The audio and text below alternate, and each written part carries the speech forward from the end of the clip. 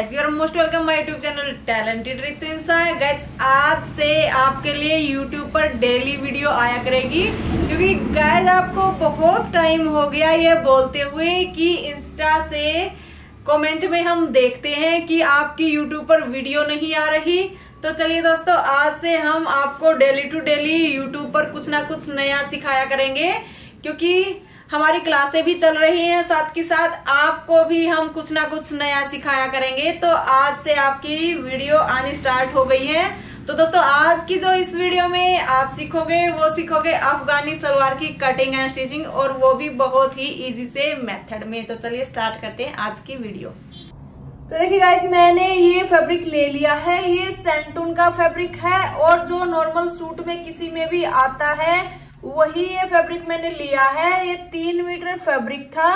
इनके मार्केट से जो हम सूट लेते हैं, उसी के साथ जो बॉटम का फैब्रिक आता है, वही है।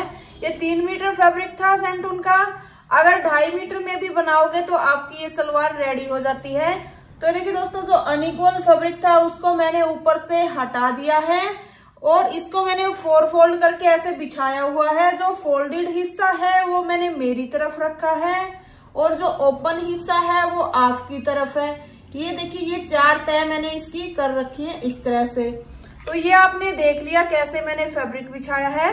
तो अब देखिए, जिस माप के अकॉर्डिंग हम आपको पूरी कटिंग बताएँगे तो वो आप एक बार समझ लीजिए। मैंने उसके लिए तीन ही माप रखे हैं। थर्टी सिक्स मैंने सलवार की जो लेंथ है वो तैयार करनी है। और जो ट्वेंटी टू यानी के बाईस इंच की मैंने बेल्ट तैयार करनी है। सिक्स इंच की मैंने जो मोहरी है वो तैयार रखनी है। तो चलिए, सबसे पहले हम इसकी लेंथ माप लेते हैं। तो लेंथ हम कैसे लेते हैं? जैसे नॉर्मल सलवार की लेते हैं, वैसे ही हम लेंथ मापेंगे। ऊपर से हमने चार इंच बेल्ट का माइनस कर दिया है। तो देखिए बेल्ट का हमने चार इंच ऊपर से माइनस किया। जिसके बाद, जिसकी जितनी लेंथ है, उतनी पर ही निशान लगाते हैं। आपने मेरी सिंपल जो सलवार हम कटिंग करते हैं, वो भी देखी होगी। वो भी हम ऐसे ही करते हैं। अगर किसी ने मान लीजिए बेल्ट कटिंग करनी है सात इंच की, वो तैयार रहेगी पाँच इंच की। तो आप चार इंच माइनस कीजिए और जितनी लेंथ है उतनी पर निशान लगाइए। और अगर किसी ने बेल्ट कट करनी है आठ इंच की, ऊपर से जो कटिंग करनी है आठ इंच की, तैयार रहेगी छह इंच की तो आप ऊपर से पाँच इंच माइनस कर दीजिए और जितनी लेंथ है उतनी पर निशान लगा दीजिए।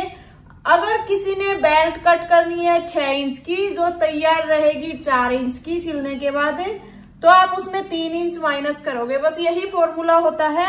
बाकी जिसकी जितनी लेंथ है, आप उतनी पर ही निशान लगाओगे ये बेल्ट का हिसाब देख करके। तो लगभग हम सभी की बेल्ट सात इंच कट करते हैं, चाहे वो नॉर्मल सलवार ही क्यों ना हो। तो उसके लिए हम चार इंच माइनस करेंगे ऊपर की तरफ़ और जितनी लेंथ है उतनी पर निशान लगा देंगे। अब हम इसको टोटल देखेंगे, हमारा कितना हो गया? ये हो गया थर्टी टू थर्टी टू पर हम यहाँ पर भी एक निशान लगा लेते हैं। अब ये देखिए, जैसे मैंने दोनों तरफ़ निशान लगाए, अब आपने ये देखना है कि जो आप सलवार की जो मोहरी बनाओगे, उसका डिज़ाइन कितना ऊँचा रखोगे? इनके ऊपर की तरफ़ कितना ऊँचा रखोगे? दो इंच का रखोगे, ढाई इंच का, तीन का या चार का? तो उस हिसाब से आप यहाँ पर निशान लगा लीजिए।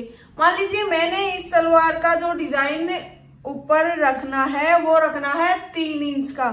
तो आप तीन इंच ऊपर निशान लगा दीजिए। तीन इंच इधर भी निशान लगा दीजिए। जितनी भी मोहरी का जो उच्चा डिज़ाइन आप रखना चाहते हो, उतनी पर ही निशान लगा दीजिए। अब हम यहाँ से इसको ऐसे सीधा निशान लगा लेंगे। और इसकी एक बार कटिंग कर लेते हैं यहाँ से। ताकि आपको बहुत ही अच्छे से समझ आ जाए। तो मैंने ये कटिंग कर दी है यहाँ से। अब हमने इसको देखना है हमारा ये टोटल कितना रह गया। आपको दिखा देती हूँ एक बार। तो देखिए, जैसे जो हमारी ये लेंथ रह गई है, ये रह गई है ट्वेंटी नाइन तो हमने एक बार तो इस तरह से ही कट कर लेना है। उसके बाद हम लेंगे इसका आसन। तो आसन हम यहाँ से लेंगे। आप अपनी मर्ज़ी के अकॉर्डिंग कितना रखना चाहते हो रख लीजिए। मैंने लगाया है नौ इंच पर निशान। आप आसन अपने हिसाब से दस ग्यारह अगर हैवी साइज़ है, कम है तो साढ़े आठ, नौ इंच पर लगा सकते हो। तो ये आपने आसन का निशान लगा दिया। अब ये देखिए, हमने जो इसकी मोहरी तैयार रखनी है, वो रखनी है छह इंच की।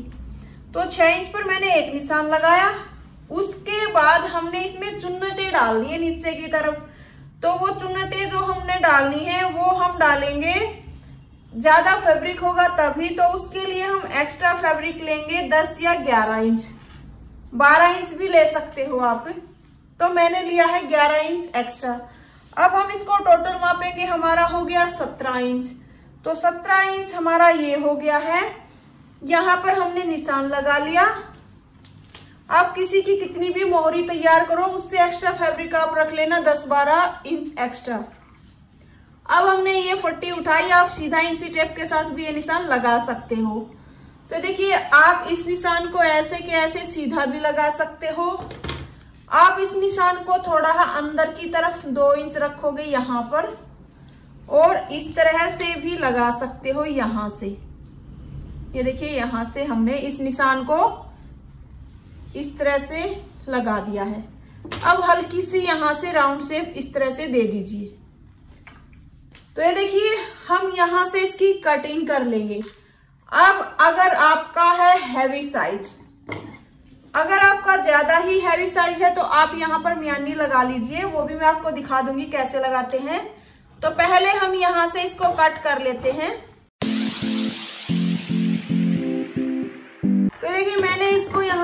कट कर लिया है। एक कट हम यहाँ पर लगा देते हैं कि चुन्नटे डालेंगे, वो हम हाफ़ इंच पर ही डालेंगे। अब मान लीजिए हमने लगानी है इसमें म्यानी। तो हम ये हिस्सा जो यहाँ से कट किया था, इसको उठाएँगे ऐसे के ऐसा। तो यहाँ से हमने ये कपड़ा ऐसे रखा और इस निशान को इस तरह से दो ढाई इंच आगे की तरफ़ बढ़ाएँगे और यहाँ से इस तरह मिला देंगे। यहाँ से इसको कट कर देंगे, दिखा देती हूँ एक बार। तो ये देखिए, यहाँ से इस तरह से कट कर देंगे और ये म्यानी जोड़ देंगे। बट आपने एक चीज़ और कर सकते हो इसमें। अगर आपने लगानी है म्यानी तो आप ये जो हिस्सा आपने यहाँ से कट किया था, मान लीजिए यहाँ से जो हिस्सा आपने कट किया था, अगर आपने म्यानी लगानी है तो आप ये निशान बिल्कुल सीधा लगा लीजिए।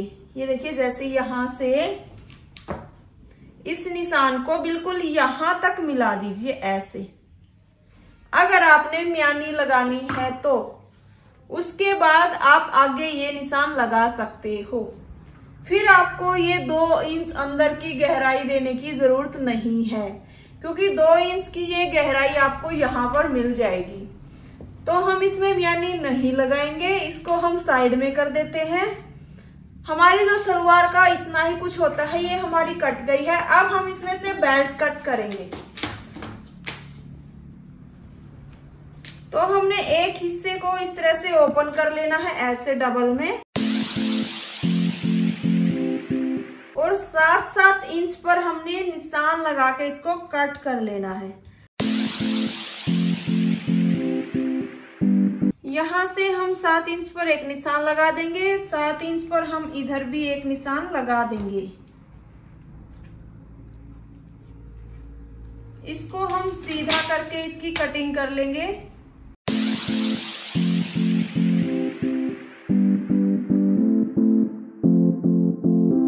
अब हमने ये देखना है कि हमारी बेल्ट तैयार है या इसमें ज्वाइंट लगाना पड़ेगा? तो हमने बेल्ट तैयार करनी है 22 इंच की। हमारा है ये साढ़े बाईस इंच हमने इसमें कोई ज्वाइंट नहीं लगाना हाफ़ इंच दबने में जाएगा। हमारी 22 इंच की बेल्ट है वो तैयार हो जाएगी। जो ये एक्स्ट्रा फैब्रिक बच गया, इसमें से हम मोहरी का डिज़ाइन बनाएँगे। वो हम आपको मशीन पर दिखाएँगे। तो सबसे पहले हमने बेल्ट तैयार कर लेनी है। और इसके दोनों आसन स्टिच कर लेने हैं। जैसे नॉर्मल सलवार हम सिलते हैं, वैसे ही इसको तैयार कर लेना है। तो देखिए गाइज़ हमने जो सिंपल सलवार तैयार करते हैं, उस तरह से कर ली है। बेल्ट हमने डाल दी है। ऊपर से बेल्ट भी हमने तैयार कर ली है। नेफा तैयार कर लिया है इसका। और उसके बाद बैक से अगर मैं दिखाऊँ आपको तो बैक से भी ये बहुत ही फिनिशिंग से हमने तैयार कर ली है। दो चुन्नटे हमने इसमें डाली हैं। अब हम नीचे का जो इसका घेर है, मोहरी का, वो आपको दिखाते हैं। ये देखिए, ये हमने बिल्कुल ओपन छोड़ा है। इसकी जो चौड़ाई हमने रखी थी, वो 35 इंच के करीब है 35 तो अब हम इसको तैयार करेंगे। इसके ऊपर हम चुन्नटे डालेंगे। तो जो हम चुन्नटे डालकर इसको तैयार कर लेंगे, वो हम साढ़े तेरह चौदह इंच पर इसको तैयार करेंगे। क्योंकि जो मोहरी हमने तैयार रखनी है, वो छह इंच की रखनी है। तो एक हमने ये बुकरम ली है अलग से। इसकी जो चौड़ाई है, वो तीन इंच की है। और जो इसकी लंबाई है, हम चौदह इंच चौदह इंच के करीब रखेंगे। मैंने पंद्रह इंच रख ली है। एक्स्ट्रा है, उसको हम बाद में भी कट कर सकते हैं। तो इसको मैं आपको बाद में तैयार करना बताती हूँ। पहले हम इसके ऊपर चुन्नटे डाल लेती हूँ। तो देखिए, एक डेढ़ इंच हम प्लेन रखेंगे फैब्रिक को, क्योंकि हमने सिलाई भी लगानी है। उसके बाद हम चुनटे डालना स्टार्ट करते हैं।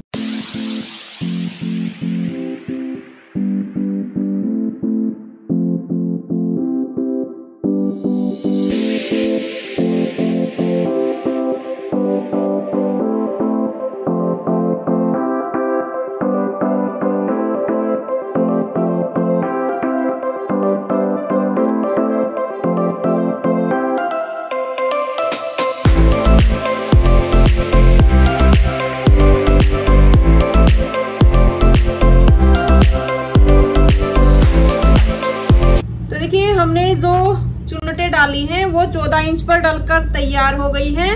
अब हम ये एक बुकरम की पट्टी लेंगे, जिसकी चौड़ाई मैंने बताया था तीन इंच है, और जो लंबाई है, वो मैंने पंद्रह इंच के करीब रखी है। उसके बाद हमने ये लंबी लंबी दो पट्टियाँ ली हैं। इसको, इसके ऊपर हम इस पट्टी को तैयार कर लेंगे इस तरह से।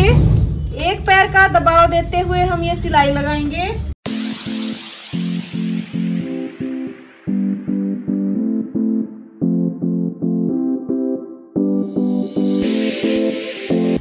ये सिलाई हमने लगा ली है। अब जो दूसरी पट्टी है, उसको उठाएँगे।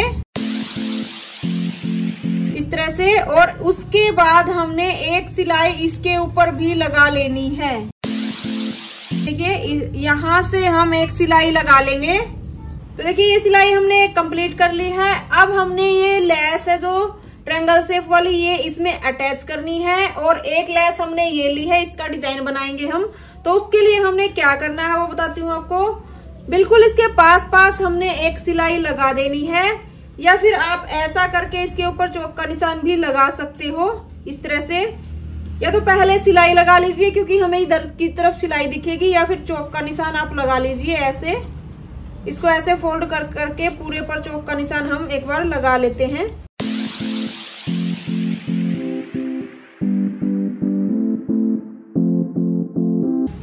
तरह से अब हम जो ये ट्रैंगल वाली लेस है, इसको उल्टा करके रखेंगे इस तरह से।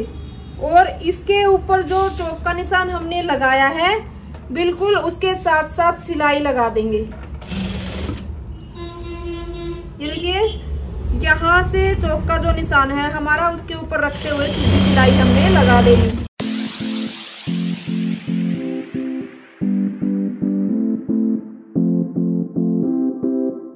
सिलाई हमने लगा ली है। अब जो दूसरी पट्टी है, उसको हम लेंगे। और यहाँ से इसको इस तरह से रखेंगे। और बिल्कुल जो सिलाई हमने लगाई है, यानी के बुकरम के साथ साथ हम दोबारा से वही सिलाई एक बार और लगा लेंगे।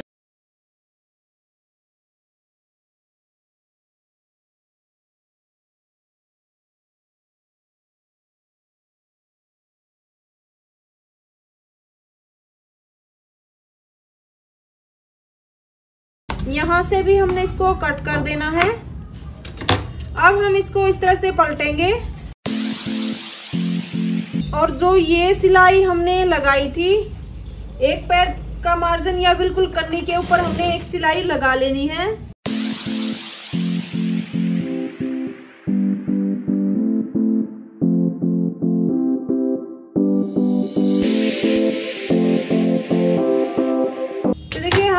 सिलाई लगा ली है। एक इसके बिल्कुल पास पास हम चौक का निशान लगा लेते हैं इस तरह से। और हाफ़ हाफ़ इंच फैब्रिक रखते हुए एक्स्ट्रा को हम कट कर देंगे। ये हमने कट कर दिया। अब हमने सलवार की जो मोहरी पर चुनटे डाली थी, उस हिस्से को उठाना है। इस तरह से।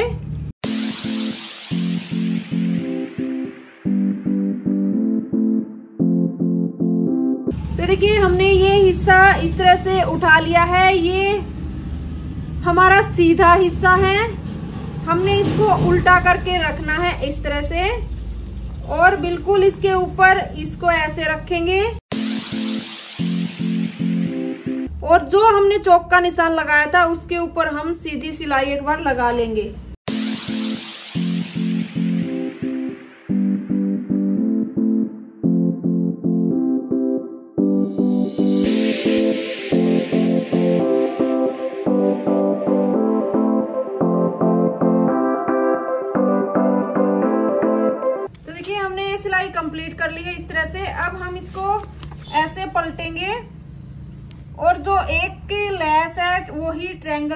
वाली वो लेस हम यहाँ पर भी लगाएँगे।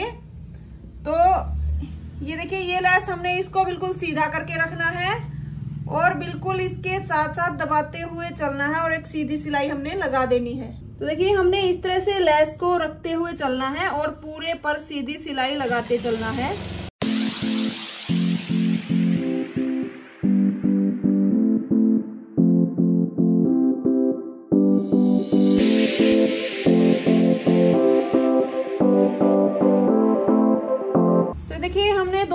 तरफ़ लेस लगा ली है। इसको हम एक बार फोल्ड करके यहाँ से जो एक्स्ट्रा फैब्रिक आपको दिख रहा है, इसको कट कर देते हैं।